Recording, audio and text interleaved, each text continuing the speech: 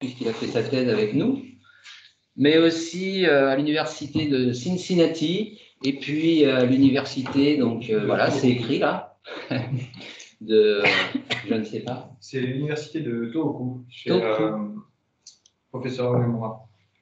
Ok. Et donc, ça va porter sur euh, les bulles et l'application monitoring. Voilà. Alors, euh, c'est vrai que ça fait euh, beaucoup de, travaux, de travaux différents.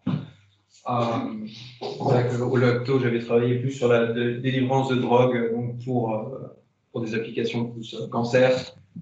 je sais, professeur moi, j'ai travaillé sur la thérapie sonodynamique.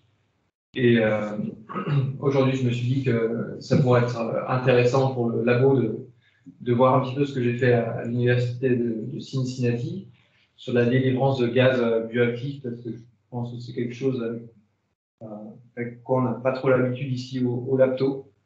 Euh, et puis bon, je parlais aussi de de monitoring de, cavitation, alors plus ou moins appliquée à la, délivrance de, gaz de gaz mais plus dans un sens un petit peu, large pour euh, tout un tas d'applications.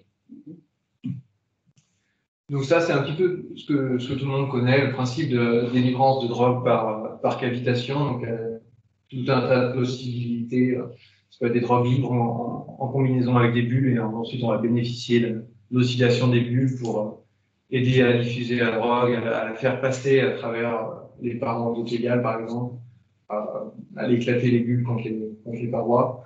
Euh, on peut également mettre euh, des médicaments, des drogues à l'intérieur de, de, bulles et s'en servir euh, pour, pour, transporter le médicament jusqu'à la zone cible et ensuite les, les délivrer par ultrason.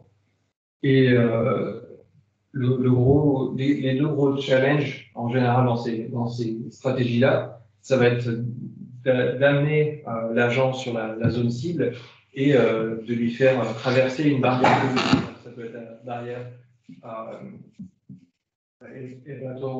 encéphalique ou ça peut être l'endothélium d'un vaisseau sanguin ou même la, membrane des cellules. et pour répondre à justement cette problématique de franchir des barrières biologiques, l'hypothèse d'utiliser des gaz bioactifs est assez pertinente parce qu'en fait, les, gaz se diffusent tellement bien qu'il n'y a pas vraiment de, barrière biologique en fait à, la diffusion d'un gaz qui va se diffuser passivement à travers, à travers des cellules, par exemple. Euh, donc là, vous, posez sûrement un tas de questions qui peut être euh, c'est quoi un gaz bioactif? Euh, comment on prépare un, gaz bioactif dans une, dans une bulle? Puis après, ben, comment on sait que la bulle est la zone cible? Et puis comment on fait pour, pour l'éclater et pour vérifier que ce soit bien éclaté? un indice, c'est avec des ultrasons. Euh, voilà, donc quelques gaz bioactifs avec leurs applications sont deux gaz sur lesquels ah, j'ai travaillé à l'université de Cincinnati. Alors, l'oxyde nitrique, à ne pas confondre avec euh, N2O, l'oxyde nitreux, qui est en fait du, gaz hilarant, c'est protoxyde d'azote. Et en fait, celui-là peut être utilisé pour traiter l'endocardite infectieuse. Et en fait, des, on fait rentrer des, bactéries qui se trouvent euh, sur la peau, en fait, dans le système sanguin. Euh, et en fait, ces bactéries vont aller s'accumuler, euh, notamment au niveau des valves du, cœur, et euh, former un biofilm, en fait, gêner le fonctionnement mécanique des, valves. c'est un, gros problème, justement, aux alentours de, Cincinnati, en fait, parce que c'est une pathologie qui est très courante pour les, les usagers de, de, de, drogue à, aiguille, parce qu'en fait, justement, avec les aiguilles, ils vont centrer des, des bactéries dans le système sanguin. Euh, le xénon est utilisé pour des applications euh, totalement, totalement différentes. En fait, on l'utilise pour de la neuroprotection euh, dans le cas d'hémorragie cérébrale. On va en fait protéger empêcher les, cellules cérébrales de, mourir par apoptose. Voilà, on, peut mettre ces, gaz dans, des, dans des vésicules sous, plusieurs formes.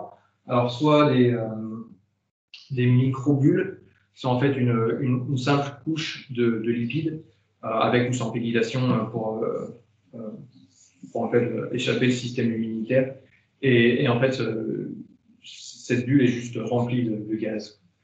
Euh, donc, soit dans le cas xénon ou euh, nitric oxide, euh, NO.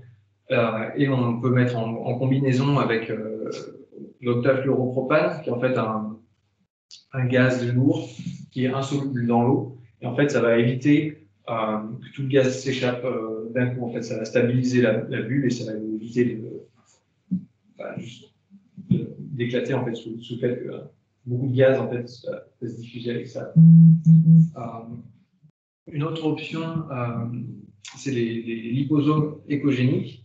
Là, c'est un petit peu différent. C'est une double couche de lipides. Et donc, au milieu, c'est une, phase aqueuse avec euh, des microbules euh, similaires à celle-ci à l'intérieur.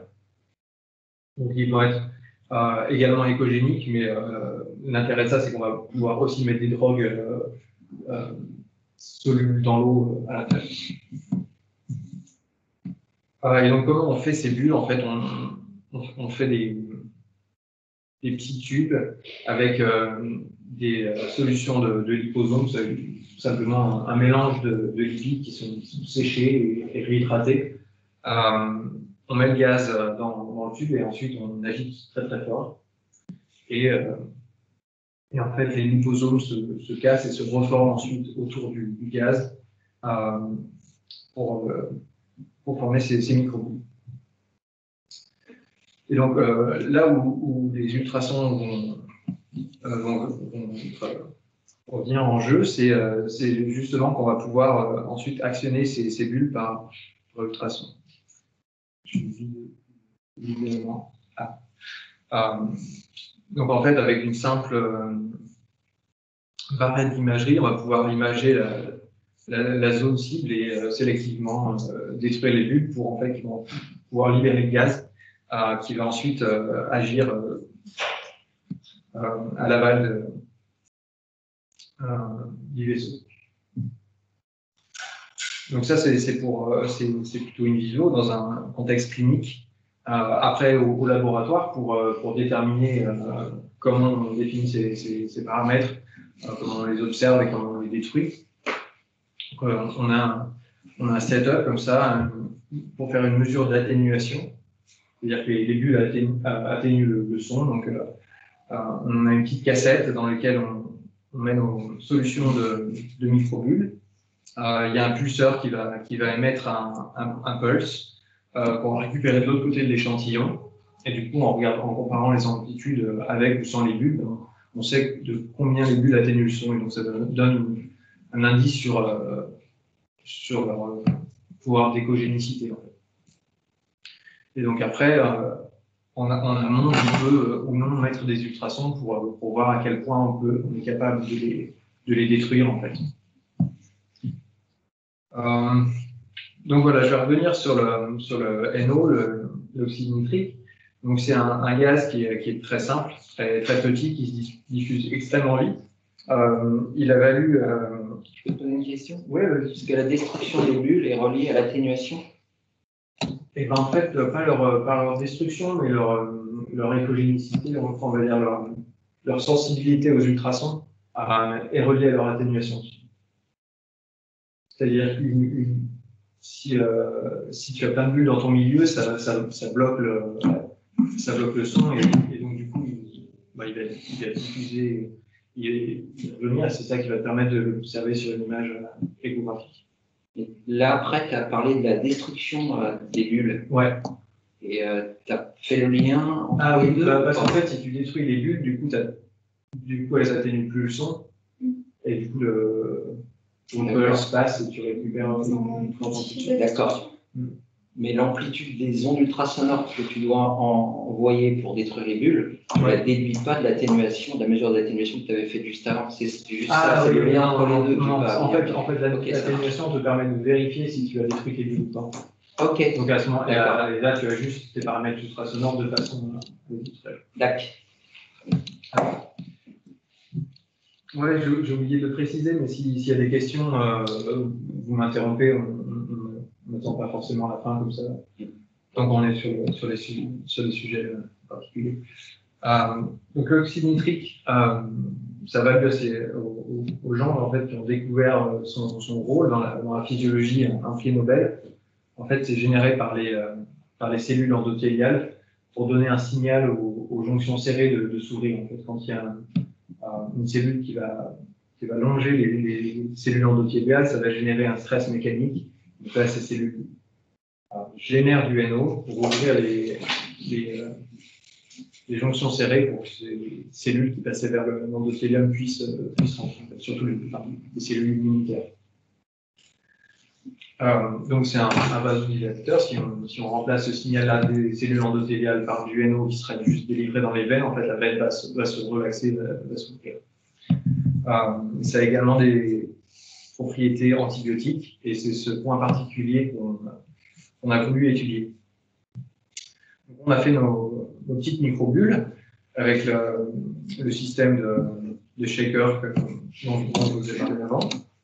Euh, on les a observés avec, sous, sous, microscope. On, voit légèrement euh, leur taille changer en fonction de la, de la proportion d'octafluoropropane qu'on qu met, dedans.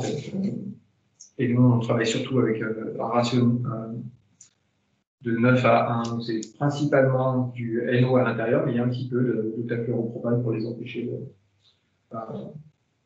de s'effondrer sur elles-mêmes.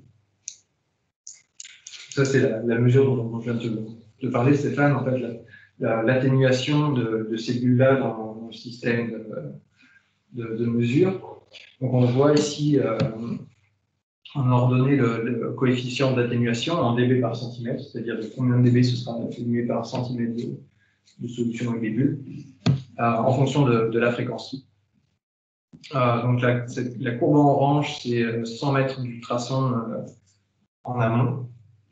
Euh, la courbe en, orange pointillé euh, clair, c'est en, mettant des, ultrasons juste avec un paramètre d'imagerie, donc un, MI euh, qui est, qui, très très faible. Donc on rappelle le MI, c'est le mechanical index, c'est la pression sur la racine de la fréquence, ça donne une espèce de probabilité de, faire de la cavitation.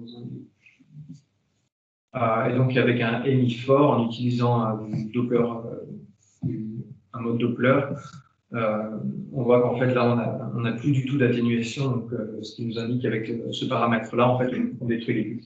On a détruit les bulles avant, les, avant la mesure. Avant la mesure. Ouais. Okay. Ouais. Voilà, donc ensuite, on a, on a cherché à mesurer la, la quantité de, de, NO qui était contenue dans, dans ces bulles-là.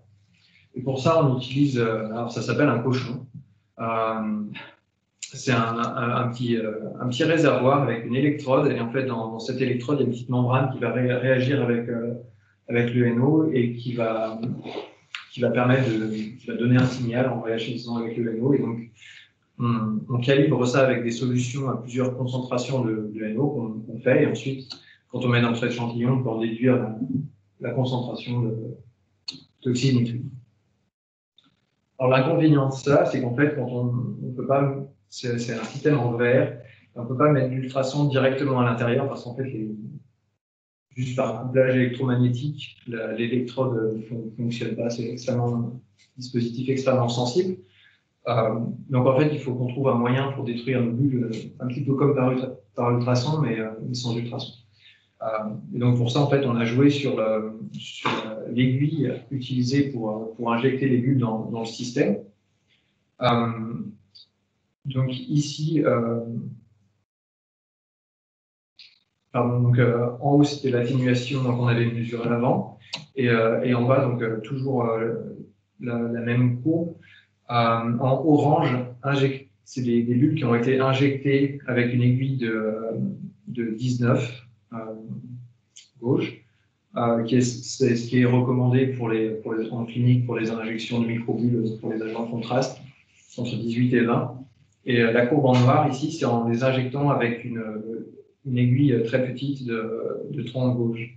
Donc on voit qu'en fait, en les, injectant avec une, aiguille qui est très fine, on va, les détruire presque autant que, que, que par ultrason. Donc, en fait, on peut utiliser ça comme, euh, comme remplacement pour simuler une destruction de. Euh, et donc voilà ce qu'on avait, ce qu'on a mesuré comme quantité de, de NO. Euh, donc en, bleu avec la, avec l'aiguille de 19 qui potentiellement détruit, ne détruit pas les bulles. Donc en fait, ce qu'on mesure, c'est la diffusion passive du, du, euh, gaz qui est dans les bulles à, l'extérieur, en fait, sans activement chercher à les détruire. Et en jaune, avec la avec l'aiguille de, de 30 gauche qui, euh, qui, va du coup détruire les bulles. Donc la différence, c'est ce qui est vraiment, euh, on va dire, euh, dans les bulles et qui va, qui va, y rester, en fait, qui va être protégé du, euh, euh, du, milieu aux, alentours, ce qui est assez important parce que comme le NO est très réactif, en fait, euh, il a une, durée de vie qui est très très courte dans le système, système sanguin. Donc justement, cette, dose-là va être protégée de ça. Donc on voit dans nos deux recettes de bulles, soit avec un ratio euh, NO-OFP de de 9 à 1 ou de 1 à 1. Dans les deux cas, en fait, on était au-dessus de, de, la dose de NO qu'on pouvait obtenir si on, si on saturait juste euh, une solution aqueuse avec du NO. Euh, ce, qui est, important parce qu'en fait, on peut pas on peut pas juste saturer une, solution de, de NO, même on peut pas sursaturer une solution de NO, de NO et la mettre dans le, dans le système sanguin parce qu'en fait, elle va, euh, si c'est sursaturé, en fait, elle, va bouillir et on ne maîtrise pas euh, la taille des bulles s'il si y a plus de, si en ébullition. Je suis pas sûr de comprendre. Quand, quand tu parles de 30G, là, c'est ta toute petite aiguille qui a détruit les bulles. Comment tu te retrouves quand même avec du NO si tu n'as plus de bulles? Ah, ben, en, fait, c'est le. Je vais revenir là. En fait, c'est le, le NO qui est mesuré par l'électrode. Donc, en fait, s'il est dans les bulles, euh, il n'est pas mesuré s'il si reste dans les bulles, on ne mesure pas. Ça mesure le, le, NO qui est dans la solution. Ok. Euh, D'accord. Donc en fait, avec la petite aiguille qui détruit les bulles, en fait, c'est la, la, dose de, c'est la dose totale de NO que tu as euh, mis en solution. Mais avec le 19, c'est la, la dose qui est mesurée dans la solution, ah, moins la dose qui, est, euh, qui reste dans les bulles et que du coup tu, tu mesures. Euh, voilà, donc ensuite on a utilisé ces, euh, ces microbules pour enfin faire euh, l'expérience qui nous intéresse, c'est-à-dire est-ce que ça a une activité antibiotique? Donc on a pris des, des puits de culture qu'on a remplis de, de, solutions de staphylocoque doré une souche qui est résistante, résistante aux antibiotiques. Et ensuite, on a testé quatre euh, traitements qui étaient euh, simplement une, une, solution de lipidique avec laquelle on fait les, les bulles, mais, mais, sans bulles. Euh, une solution de NO, toujours sans bulles. Euh, une solution d'air et, et d'OFP. Euh, en, forme de microbules euh, et euh, nos euh, microbules de NOFP. Donc après ça, on les laissait faire leur vie pendant, pendant 24 heures et ensuite on comptait le, nombre de bactéries dans, ces puits-là. Et ce qu'on a pu voir, c'était qu'il y avait une différence significative entre, entre le, il y avait une amélioration significative en fait en utilisant les, les, les bulles de, de NO euh, comparé à juste des microbules euh, remplies d'air euh, et même par rapport à juste une solution de, de NO. C'est malheureusement arrêté là, on n'a pas, fait d'essai euh, in vivo avec ça. Et je parlais de l'autre gaz bioactif qui est le Le xénon, c'est un, un, gaz noble et qu'on utilise, nous, en, en, neuroprotection. En fait, il, il bloque, euh, il bloque l'apoptose des, des, cellules, euh, des cellules euh, neuronales, en fait, qui vont, pendant un, accident hémorragique ou ischémique, en fait, elles vont être privées d'oxygène le moment où l'oxygène revient, en fait, les valves vont, se gaver d'oxygène et ça, ça, les fait entrer en aboucle. Donc, et en fait, le xénon bloque cette, cette voie-là, donc empêche ces dommages-là. Ouais. Je crois que dans le, sur chaque Teams, il y a quelqu'un qui a levé la main. Je crois que c'est Barbara Nicolas. Ah, ah. Oui, bonjour Barbara Nicolas. Euh, je suis créatrice, j'ai une petite question sur le slide d'avant. Euh, je me demandais pourquoi c'était mieux d'avoir euh, de, des microbules avec de l'air que la solution de NO. Donc du coup, les colonnes 2 et 3 là. On dirait que les microbules avec de l'air, elles ont quand même mieux détruit la, le, le staphylocoque que la solution de NO. Ouais, alors il y avait, euh, n'y a, pas de différence euh, statistique entre, euh, entre ces deux-là, entre ces deux, les groupes 2 et 3. après, pourquoi le, ce qui est intéressant en fait, c'est pourquoi il y a une, il n'y avait pas de différence aussi avec la première, mais c'est vrai qu'on voit une, tendance à, bon, on dirait que des, bulles d'air sont antibiotiques. alors comme il n'y avait pas de différence statistique, on ne peut pas trop s'avancer. Euh, mais après, c'est possible qu'en fait, le fait d'avoir des, des microbules dans le, dans le milieu euh, gêne quand même les, euh, les bactéries, rien que parce que bah, du coup, la, la, respiration, on va dire, du, du puits avec l'air ambiant est, est peut-être un petit peu différent. Peut-être qu'elles sont légèrement euh, sous-oxygénées. on n'a pas vraiment d'explication, mais en même temps, c'est pas un effet qui est, qui est très fort. Ok, merci. Euh.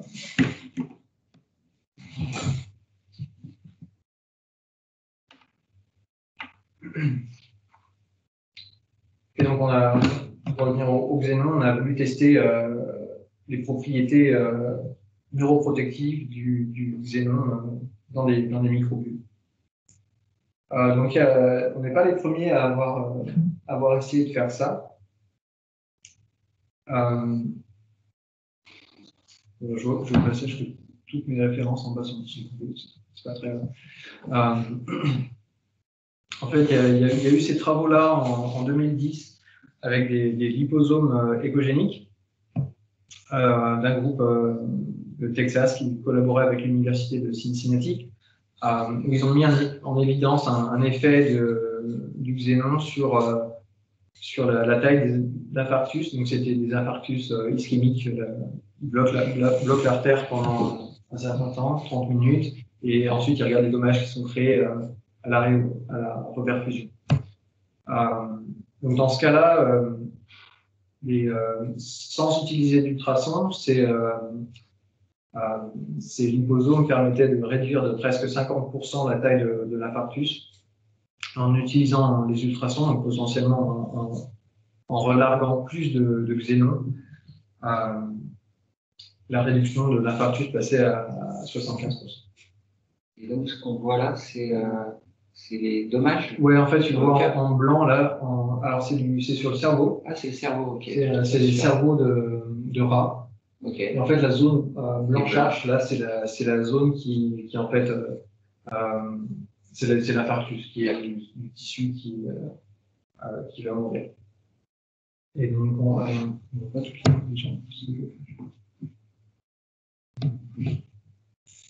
Et donc, euh, donc avec, avec, les ultrasons, c'est celui-là où on voit presque pas en fait là, là où est euh, l'infarctus. Mm.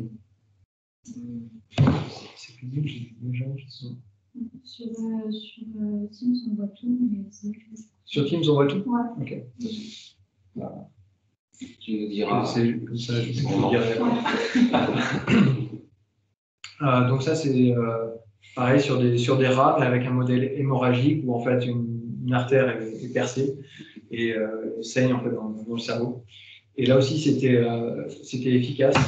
Euh, donc celui qui nous intéresse, c'est celui-là, c'est le, liposomes avec, avec du xénon qui présentait une réduction significative. Alors là, c'était c'est pas l'indicateur en fait, c'est juste un, indicateur d'image évalué par, par un expert aveugle. voilà, donc on, a cherché à, répliquer un petit peu ça. donc, toujours un petit peu la même histoire. On prend notre système d'atténuation. on regarde les bulles sans ultrasons, c'est la courbe bleue. Euh, on regarde avec des ultrasons à basse intensité pour voir si on peut faire l'imagerie euh, avec. C'est cette courbe rouge qui nous dit que oui, on peut, euh, on peut faire de l'imagerie avec. Et avec un, des paramètres avec un, une amplitude plus importante, on voit qu'on peut aussi aller détruire ces bulles. Donc on a, on a pris un modèle porcin dans lequel en fait on, va prélever du sang et, euh, le réinjecter en fait dans, le cerveau pour, pour former une, euh, une, hémorragie cérébrale. Et ensuite, on, injecte les, les, microbules en intraveineuse et on va les détruire au niveau de, au niveau de la carotide pour que les aimants aillent ensuite euh, se, libérer dans le cerveau. Donc on voit ici une image B-mode où donc, côté A c'est côté du cœur, côté B c'est côté, du cerveau. Ah, donc les bulles arrivent comme ça, on les voit bien hypogéniques dans la, carotide. On voit notre, euh, notre pulse Doppler qui nous sert à détruire les bulles. Et de l'autre côté, côté cerveau, en fait, on, voit que, que les bulles euh, sont détruites, donc euh, que le gaz est relargué en circulation. Ah oui, c'est pas un mode spécifique de l'échographe, c'est juste un Doppler conventionnel que, que tu fais euh, pour détruire tes bulles. Donc c'est très bien, parce en fait, ça, ça va bien repérer. Tu vois, ouais. Donc ça, ça pourrait être ma, première slide de partie euh, monitoring. C'est vraiment, euh, on va dire, euh, très basique, mais en fait, c'est très très visuel et, et au niveau clinique, c'est très très pertinent. Et donc ensuite, on a, récupéré donc, les, tranches de cerveau et on les a marquées en, tunnel et en DAPI. Donc le tunnel, ça permet d'identifier les cellules neuronales qui sont en train de mourir par, par apoptose. Et donc, on voit sur un, côté contrôle, en fait, du, du, cerveau diable et euh, en proximité d'un caillot, d'une zone hémorragique, on voit toutes ces cellules-là qui sont potentiellement euh, donc, je vais devoir faire du suspense. On n'a pas encore tous les résultats euh, de, de, cette étude. On a, tous les marquages euh, et on est en train de, de de compter nos cellules, ce qui, prend du temps.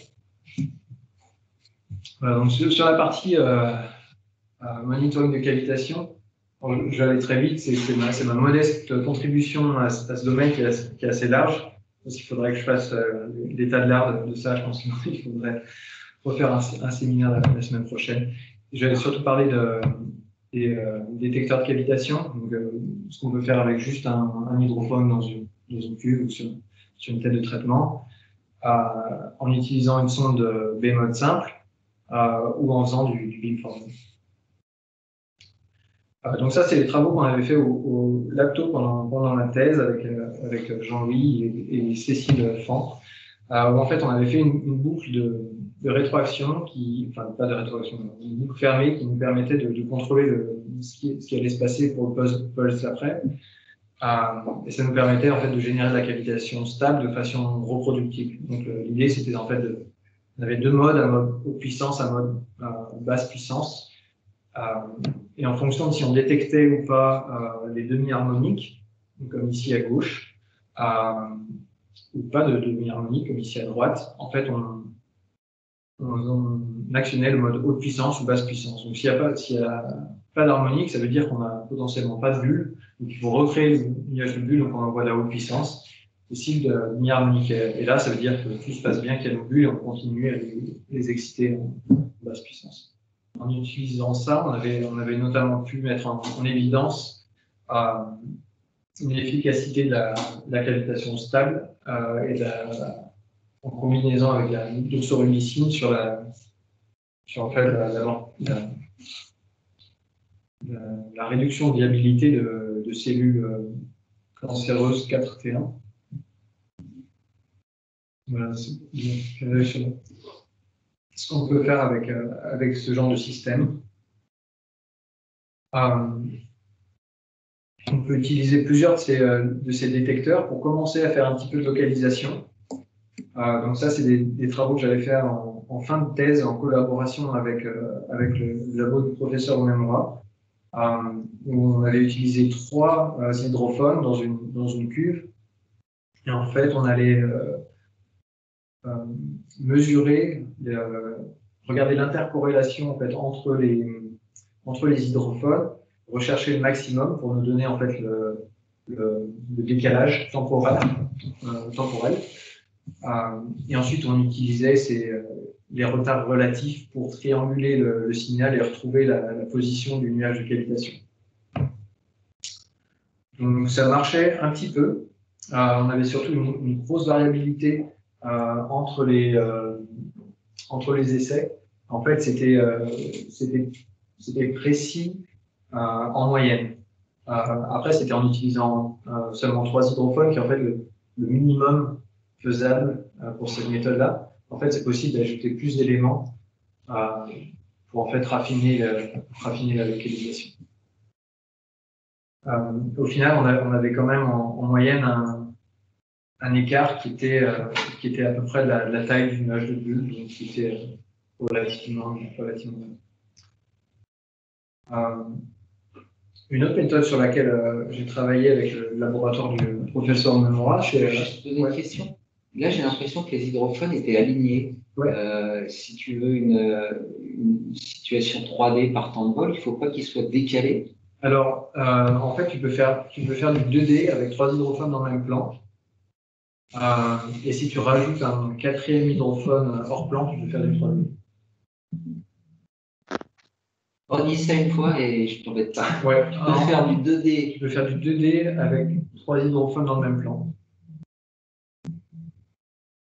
Je peux poser une question, euh, c'est à nouveau Barbara pour compléter celle de Stéphane. Euh, on est d'accord que là, du coup, tu euh, localisais ta cavitation dans le plan vertical au-dessus de tes hydrophones?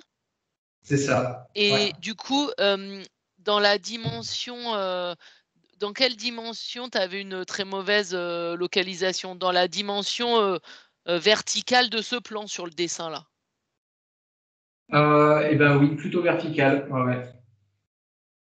Si on regarde, en fait, là, les, les, les barres d'erreur sont, sont, plus importantes dans la, dans la dimension verticale.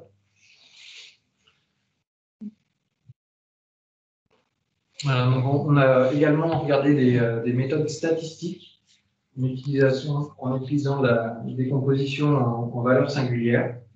Euh, en fait, le but de cette étude, c'était d'essayer de, décomposer des, images bémol en qu'est-ce qui est du signal qui vient du, tissu, qu'est-ce qui vient du, flux sanguin et qu'est-ce qui vient d'un nuage de cavitation.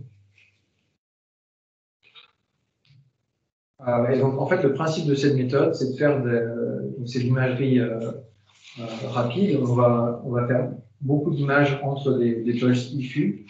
Et ensuite, on, va faire, un, on fait une pile, on fait un, stack de ces images bémol.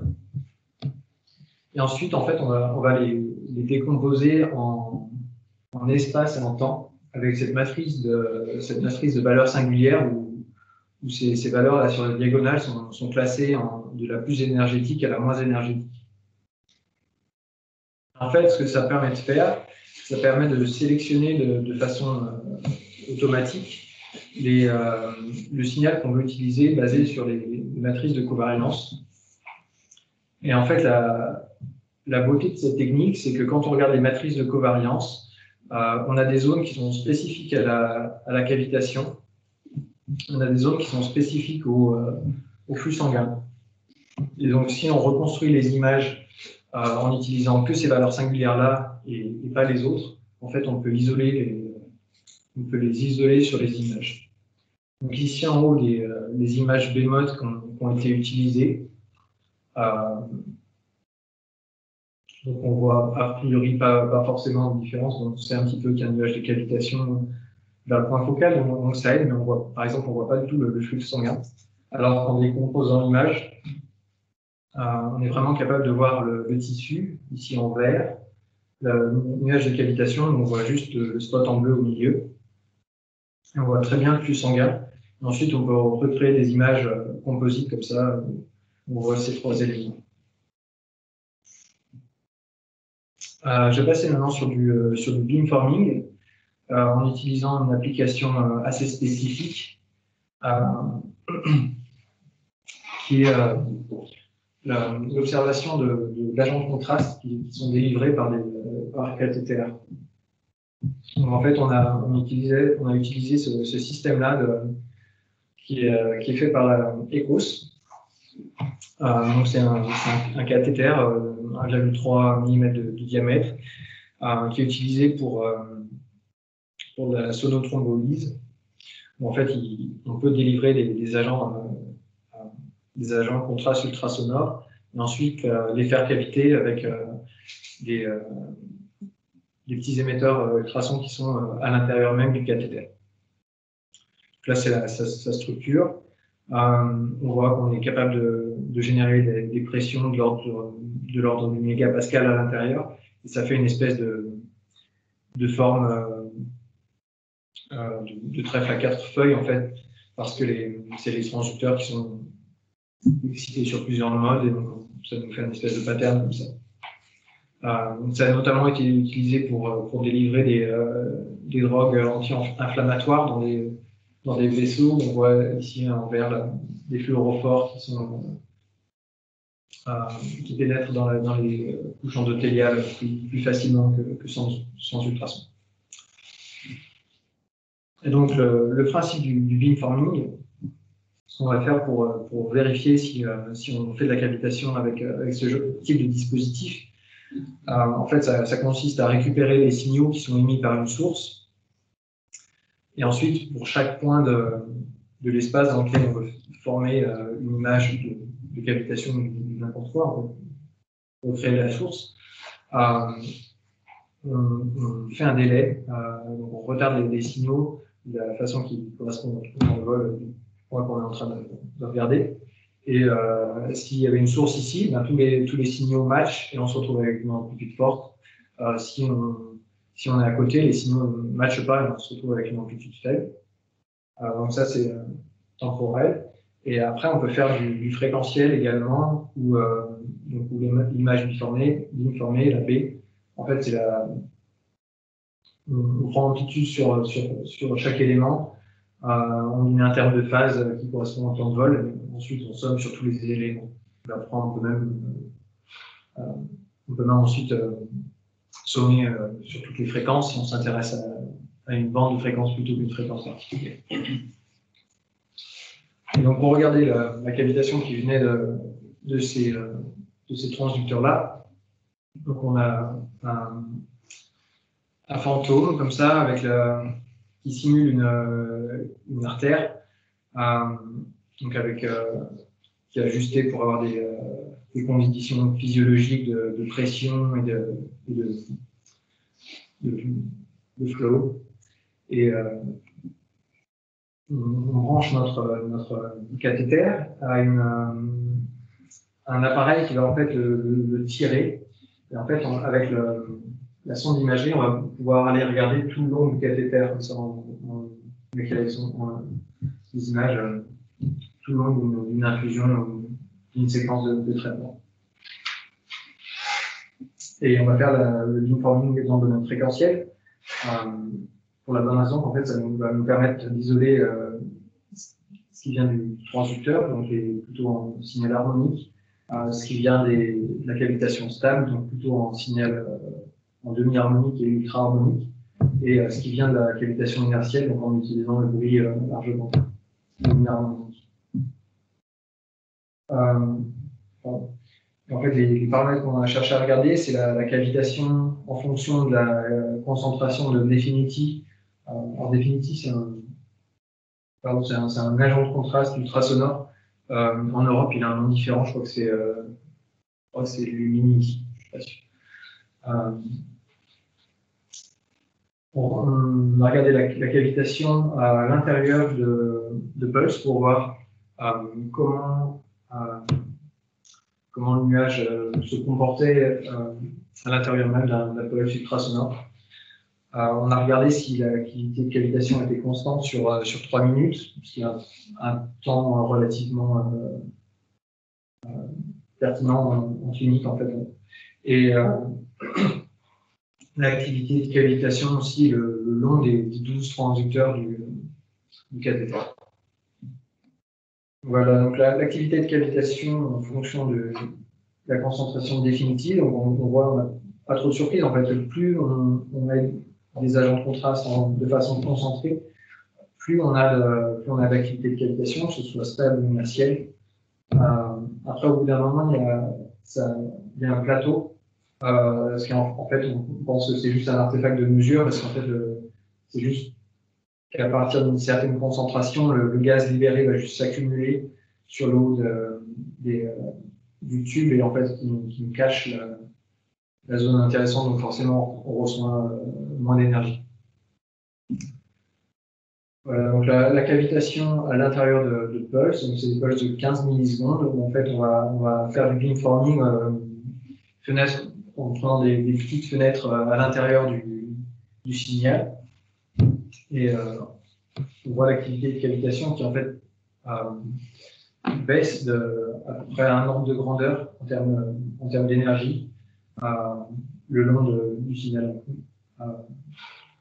principalement après 5 millisecondes, on a de l'activité qui qui est vraiment très très faible en regardant les, les, images beamformées, donc, sans surprise, on voit le signal harmonique qui vient bien des, qui vient du cathéter. Euh, et en, en, vert ici, c'est le, signal des ultra-harmoniques, donc qui vient de, la cavitation stable. Euh, on voit un petit peu là ces, euh, ces lobes euh, qui correspondent au, au lobe du champ ultrasonore. en rouge, là, c'est la, cavitation inertielle basée sur le des fréquences inharmoniques, donc qui suit à peu près le même, le même pattern que, la cavitation stable, euh, sauf qu'à ce temps-là, 1,7 millisecondes, donc un petit peu au début du, signal, on voit que ça vient quand même surtout du, cathéter, alors que la cavitation stable est quand même basée euh, sur les côtés. Alors, euh, le pattern Ouais. Tu distingues là, c'est les lignes plus ou moins concentrées en vert ou en rouge. C'est ça que tu appelles euh, le pattern? Ouais. Parce que tu en as aussi à l'extérieur. Donc c'est pour ça que c'est plus évident. Ah oui, oui. Donc en fait, à l'intérieur, tu regardes où se concentrent ces lignes. Et ça, ça te dit euh, si tu as euh, telle ou telle harmonique qui est dans une cavitation stable ou instable. Ouais, c'est ça. Après, ça va, ça va aussi à l'extérieur parce qu'en fait, bah, c'est juste l'artefact du beamforming Ok, ok, d'accord. Juste très mauvaise résolution. Ouais. Parfait. Euh, et, cette, cette, dernière ligne, en fait, c'est une, euh, une, technique qu'on a mis en point, au point pour en fait essayer, essayer de trouver une solution pour, euh, pour visualiser ça, pour visualiser les, deux en même temps, en fait, inertiel et, stable. Et en fait, on a trouvé que la, la solution la, la plus simple, en fait, c'était de, de, fusionner les, les, images, en fait, et, euh, et d'avoir euh, la cavitation non pas euh, sur, juste sur une color bar, mais sur ce qu'on appelle une color map, où du coup, on a la cavitation inertielle en, en, rouge, stable en vert, chacun d'un côté, donc qui, map, qui, qui correspondent en fait à ces deux color bars. Mais ensuite, on a la, la diagonale où les deux, en fait, le mix parfait des deux, qui serait du, du jaune, en fait, correspond à, correspond à la, même, énergie des deux, phénomènes. Donc, ça permet de, voir quand les deux sont, colocalisés, comme ici au, début du, au quand on a une activité de cavitation qui est très forte, euh, c'est généralement, euh, ça vient au même endroit. En. La cavitation inertielle et stable vient, des, mêmes, endroits. Et par contre, sur les régimes un petit peu plus intermédiaires, on commence à voir apparaître qu'en fait, euh, la cavitation inertielle est surtout au centre, alors que les, bords apparaissent un petit peu plus verts. Excusez-moi, le cathéter, il sert à quoi alors, hein, du coup? J'ai oublié. Et eh bien en fait, le, le, cathéter, il sert à, il sert à, à mettre les bulles dans le. Dans... Il, y a, il, y a des, il y a des canaux pour. Euh, pour mettre de la, de la drogue ou les microbules qui vont ensuite euh, sortir dans, le long du cathéter. Et en plus, il y a les ultrasons clairs. Excuse-moi, Barbara, j'ai une autre petite question sur ce slide-là. Euh, comment, tu as dit tout à l'heure à Stéphane que ta résolution axiale, elle n'était pas bonne. Du coup, ton verre, ben, on sait qu'il dépasse largement la zone où, en fait tu as ta mmh. cavitation. Du coup, comment tu passes de ces images de beamforming à ton énergie mesurée? Est-ce que tu mesures que dans, une, que dans la zone où tu sais que tu en as ou alors tu as quand même pris l'énergie sur toute l'image? Est-ce que tu peux nous dire? Alors en fait, c'est euh, une bonne question. Et euh, non, on ne voit pas dans la salle. C'est la, réponse un peu dans, dans le papier qui est, qui est cité là. En fait, on. En fait, ah, on ne le voit pas non plus là, nous. Ah, ah, je croyais que c'était sur, sur Teams. Euh... mais euh, c'est juste que je pense qu'il n'y est pas tout D'accord. Euh, en fait, on, on, prend, euh, on compense avec le. Euh, en fait, quand on beamform, le beamforming, c'est le résultat d'une convolution entre, entre la source et, la fonction d'étalement du point. Et ça, ça, induit un changement d'énergie. C'est-à-dire, si on a une source ponctuelle qui vaut 1, euh, si on a beamform avec une, certaine fonction d'étalement du point, et qu'ensuite on va sommer euh, tous les points qu'on mesure, on ne va pas retomber sur 1, on va, tomber sur le, euh, sur le fait que, la fonction d'étalement du point en fait, augmente l'énergie l'énergie totale dans le, champ beamformé. En fait, ça, on peut, le prendre en compte pour, euh, pour venir le, compenser, en fait, sur, euh, pour en fait pouvoir sommer tous les points de, l'image euh, et, venir retirer la, la, contribution de la fonction d'étalement du point et pour pouvoir redéterminer en fait l'énergie réelle de, de la source. C'est pour ça que. Et du coup, cette fonction d'étalement du point, elle est constante là quand même sur toute ton image. Du coup, ça te fait qu'un un coefficient scalaire à appliquer ou c'est plus complexe que ça? Ouais, c'est ça. Ça fait, un, ça, fait, ça fait quelque chose de scalaire. Si on devait, euh, si on devait euh, considérer, si on considère que, que, ça change, en fait, ça devient beaucoup plus compliqué. Euh, et en fait, bon, ça change un petit peu sur, sur, sur, ces, sur ce, cette configuration-là.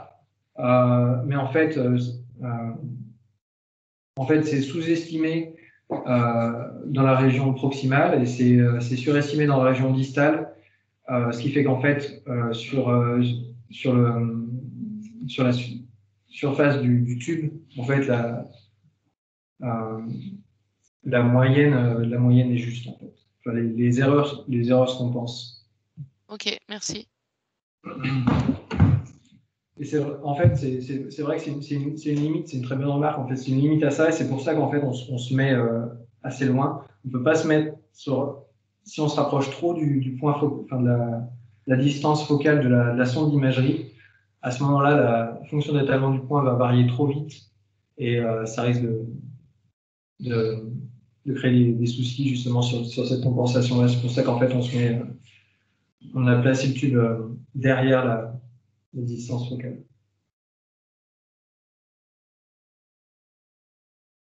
Euh, voilà, ça c'est l'activité de, cavitation le long des, trois minutes.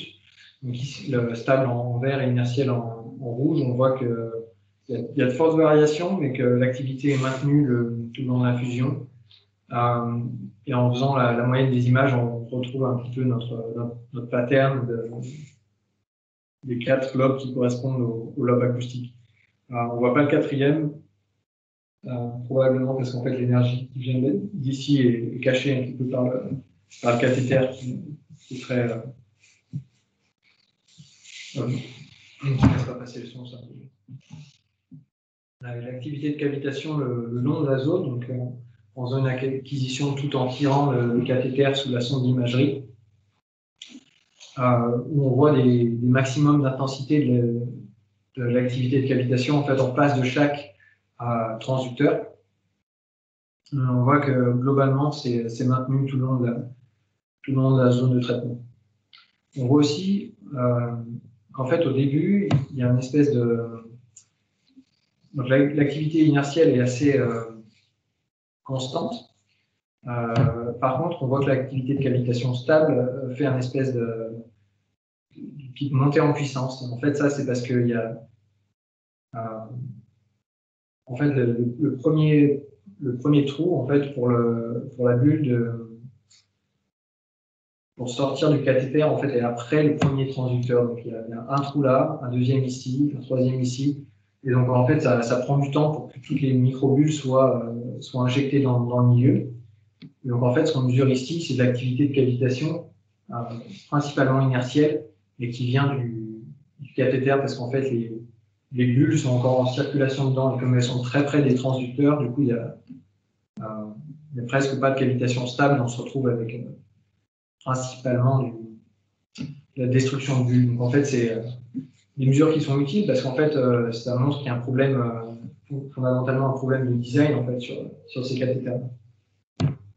Par contre, quand on prend à partir du quatrième transducteur, on voit bien notre activité de cavitation qui est localisée dans le tube et qui potentiellement aura un effet biologique.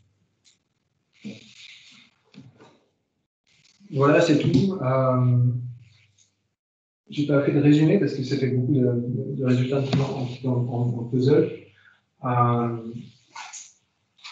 il y a beaucoup de, de choses à discuter, beaucoup de, perspectives, que ce soit au des, gaz bioactifs, euh, qui ont sûrement beaucoup d'applications. Beaucoup euh, les applications en, combinaison avec des drogues peuvent être, être explorées. Euh, par exemple, le NO a des propriétés vasodilatatrices, donc est-ce que utiliser du NO en, combinaison avec d'autres drogues, est-ce que ça peut les aider à mieux pénétrer justement dans cet effet de vasodilatation euh, Plein de choses à explorer là-dessus.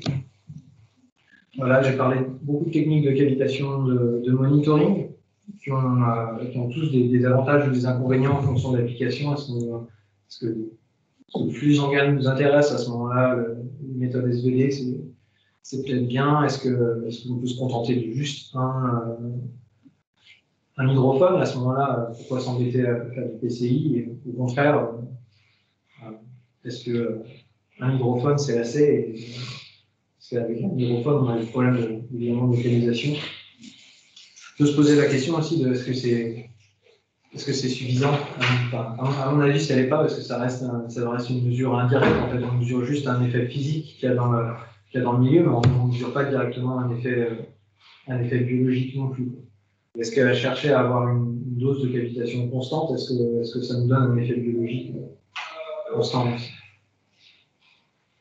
Voilà, et puis euh, justement des, des, applications encore, euh, des, justement des ultrasons intravasculaires pourra faire la, délivrance de drogue à partir d'un cathéter, ce qui est euh, utile parce qu'en fait, ça, ça, nous permet d'accéder des zones euh, de, façon, euh, de façon mécanique qui ne seraient pas forcément atteignables de façon vasculaire, on va dire, en en mettant, des drogues en circulation dans, l'organisme. On sait bien que les drogues ont plus de mal à, aller sur, certaines régions, par des régions ischémiques si on veut traiter des régions ischémiques, euh, mettre des drogues en circulation dans le flux sanguin, euh, ça ne va pas marcher parce qu'il n'y a pas de flux sanguin dans les régions ischémiques. Si on peut mettre euh, ces drogues sur des cathéters, avec des ultrasons, des ultrasons pour aider justement la, diffusion de ces drogues-là, déjà les,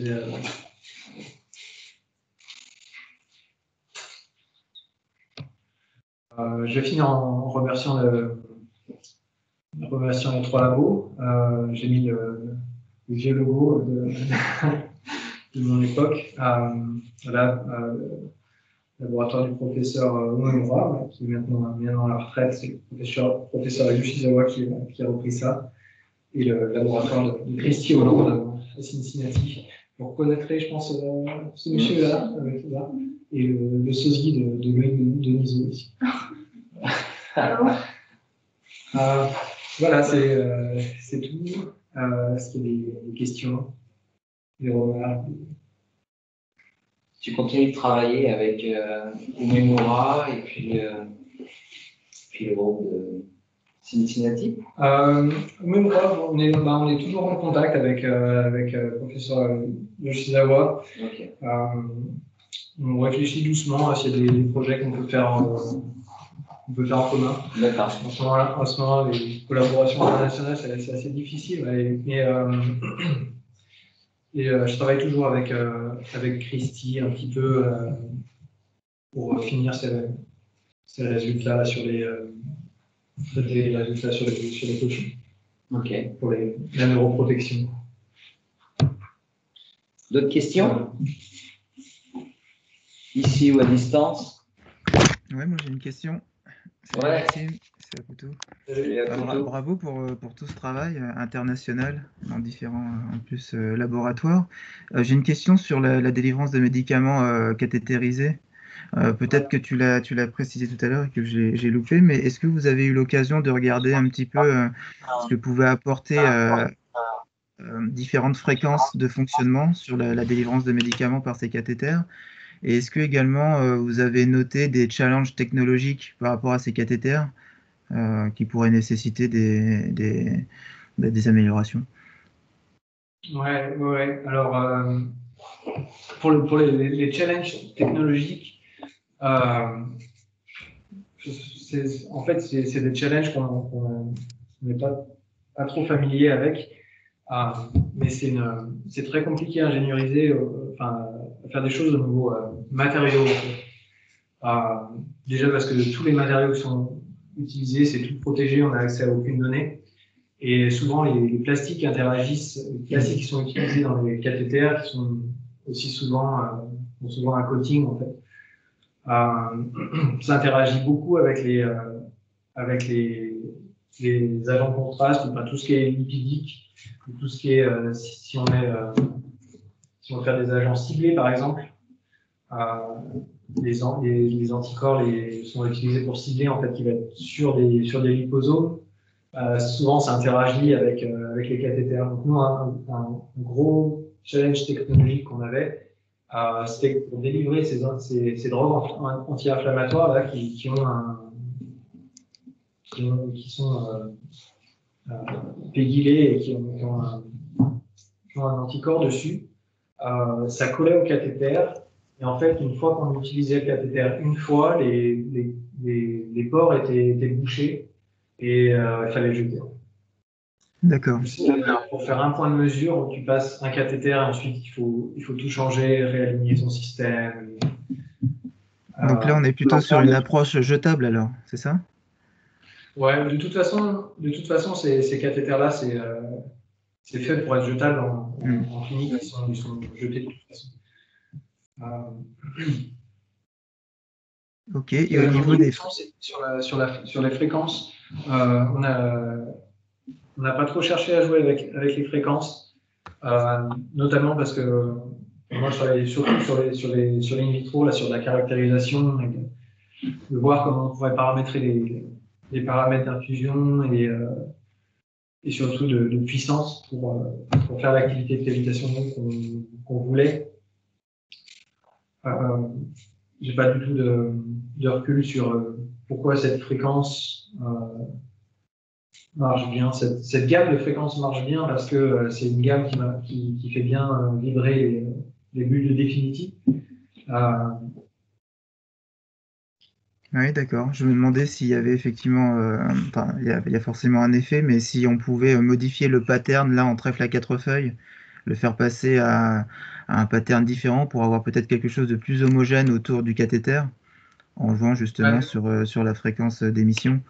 Euh, Donc, euh, je comprends bien du côté des, des, des, des particules qu'elles vont osciller à des fréquences préférentielles, mais du point de vue de, de- du champ de pression euh, émis par le cathéter, je me demandais, euh, compte tenu de ces dimensions, s'il n'y avait pas des fréquences qui pouvaient favoriser euh, peut-être un- une répartition plus homogène. ouais, c'est vrai. euh, ouais, et puis, bah, tu pourrais même pousser le truc à, à faire du, du conformel. Ouais. Euh, et je pense que je pense qu'à ce moment-là, la, la- la contrainte technique, c'est- simplement une contrainte de taille en fait. Mhm. Parce que ce, ce cathéter-là fait, fait à peu près euh, 1,3 mm. Donc, là, en fait, pour mettre ton queue ultrasonore, en fait, est à peu près euh, 0,5 mm euh, à l'intérieur. Donc, ça, ça devient très, très dur de, de mettre beaucoup de, de fils dedans. En fait. Là, ces, transducteurs-là, c'est juste un fil avec des, petits euh, cubes de, piezo qui sont, directement sur le fil. Euh, c'est vrai qu'il y a un, challenge pour, euh, miniaturiser ça. Du coup, ça limite aussi les, vaisseaux auxquels tu peux accéder. C'est vrai que si tu as un moyen, peut-être par les CMUT, je ne sais pas si je veux faire des choses aussi petites que ça.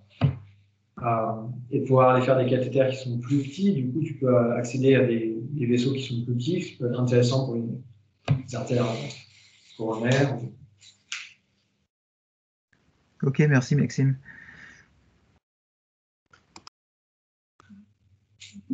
Tu, tu penses que, que c'est compliqué de miniaturiser ça, euh, des, des sur des, des échelles comme ça, sous, sous le millimètre? Moi, je pense que non. Les industriels, par contre, je ne sais pas s'ils pensent la même chose que moi. Mais euh, euh, en, en, théorie, non, effectivement, la, la limitation d'intégration des CMUT est bien inférieure euh, à ces dimensions-là, puisque euh, une cellule élémentaire, c'est de l'ordre de la dizaine de microns. Une cellule élémentaire qui génère des ultrasons. Donc ensuite, tu peux dé développer des émetteurs à ultrasons qui font toutes les tailles au-dessus de cette cellule élémentaire. Euh, après, tout, tout, ce qui est la complexité, c'est quand on essaye de faire ensuite des, des, des dispositifs multi-éléments avec, euh, avec de la focalisation, etc. Mais là, ce que je vois dans ton cathéter, c'est que c'est commandé avec une seule voie électronique, je pense. Tous, tous, les, tous les, les transducteurs ouais. sont connectés ensemble. Ouais, c'est Donc, voilà. Donc ça représente un fil et effectivement euh, des CMUT en ligne comme ça, en vecteur, pour être miniaturisés. Euh, euh, si on pousse le concept jusqu'à fond, vraiment jusqu'à la taille euh, élémentaire de la cellule. Bon, ce qui est certainement pas préférable si on veut générer beaucoup de pression, mais, mais voilà, c'est bien plus intégrable, effectivement. D'accord. Je ne crois pas que ça existe pour l'instant, donc euh, il doit y avoir non, aussi une raison. ouais, après, est-ce que c'est des, est-ce que c'est des raisons d'application aussi? Parce que tu vois, finalement, euh, quand tu es en intravasculaire, faire de... Ça Après, peut être des questions de coût aussi. Hein. Ça peut être des questions de coût, de robustesse industrielle, etc. Or là, si ça fonctionne bien et que c'est des sondes jetables, elles ne doivent pas coûter trop cher. Quoi. Donc, euh, peut-être qu'une technologie plus simple. C'est-à-dire euh, ouais, Ils les vendent, hein, c'est le Boston ouais. Scientific qui, euh, qui, qui, les vend. Euh, et euh, le, le, prix pour un, pour un hôpital, bah, je ouais. pense que je peux le dire, hein, parce que c'est public, ça, ça, coûte, ça, coûte, ça coûte à peu près 4000 dollars par, par cathéter. Jetable. Jetable, ça Voilà. Ah oui, d'accord. Voilà, après, c'est pour, pour soigner des, des, euh, euh, des, des thromboses euh, veineuses. Et comment ça s'appelle, et des embolismes pulmonaires. Donc, tu vois, c'est pour traiter des pathologies qui sont, qui sont très lourdes et, et très urgentes, et donc des pathologies sur lesquelles, en fait, l'hôpital a les moyens de, de, de, charger la mule, entre guillemets, et de faire des traitements chers. Okay. D'autres questions dans la salle? Personne? À distance? Plus. Ben, S'il n'y a plus de questions, il nous reste à en remercier Maxime et, euh, et conclure donc sur ce séminaire. Donc, euh, bon appétit à tout le monde. Et euh, offline, j'aurai d'autres questions à poser. Je voudrais remercier la localisation. Ok. Au revoir à tous. Au revoir. Merci d'être venu assister. Alors, Au revoir, merci. Au revoir, merci. Merci Maxime. Merci bien.